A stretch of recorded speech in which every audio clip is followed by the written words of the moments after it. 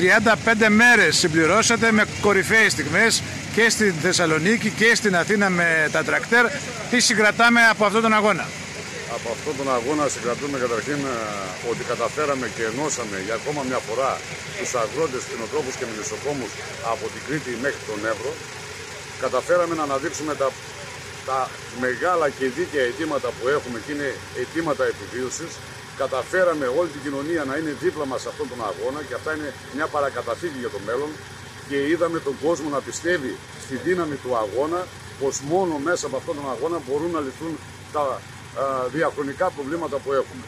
Ε, έχουμε κερδίσει κάποια πράγματα από την κυβέρνηση, αλλά αυτά θα μείνουν σίγουρα παρακαταθήκη για τις επόμενες γενιές, για τους αγώνες που θα δοθούν από εδώ και πέρα, γιατί σε καμία περίπτωση δεν πιστεύουμε ότι όλα αυτά τα ζητήματα που αφορούν την επιβίωσή μας θα λυθούν με έναν αγώνα.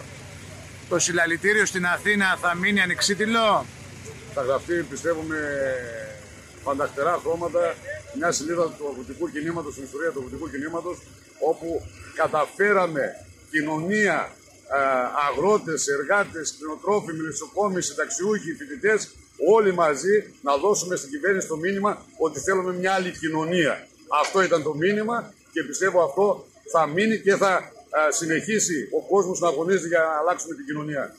Σε λίγες ημέρες νέα συνάντηση για τη Θεσσαλία αυτή τη φορά με τον Πρωθυπουργό. Αρχές Μάρτη. Τι περιμένουμε; Ε, εκεί περιμένουμε πράξεις γιατί χορτάσαμε απολόγια μεγάλα.